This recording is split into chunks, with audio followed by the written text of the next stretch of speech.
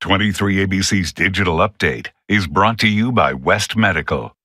I'm Mike Hart. Here's a look at what we're following on this Wednesday. Bakersfield police are investigating a deadly stabbing overnight in South Bakersfield. Officials say they were called out to an alley near Ming Avenue and South H Street where they found the victim of a stabbing. Now, this all happened just before 3 o'clock this morning. Police say right now there's no information on, in, on the victim or a possible suspect. Investigators cleared the scene at about 6:30 this morning. We'll post updates as we receive them on our website, turnto23.com. Meantime, the BPD is recruiting for its cadet program. It's for young adults between 14 and 20 years of age. Cadets will work closely with police to help prepare them for careers in the public safety profession. There is testing this Saturday at the Bakersfield Police Activities League, which is located on East 4th Street. Testing times depend on your age. And Derek Chauvin facing federal charges that he violated George Floyd's civil rights when he pinned him down and knelt on his neck for several minutes last year. A jury convicted Chauvin of second and third degree murder along with manslaughter.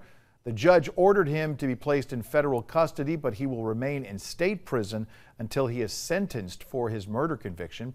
Three other officers are facing federal charges in this case as well.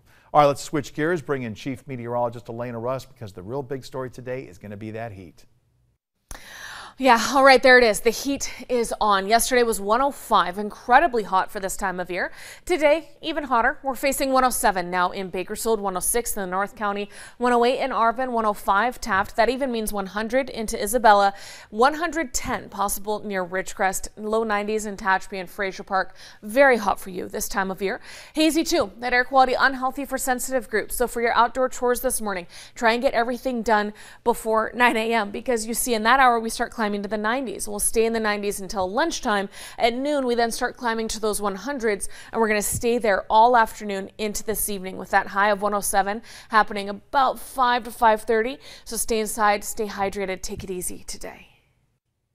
And that's a look at some of the stories we are following for breaking news, weather, and traffic anytime, anywhere. You can download our free mobile and tablet apps. We'll have another update for you right here later today.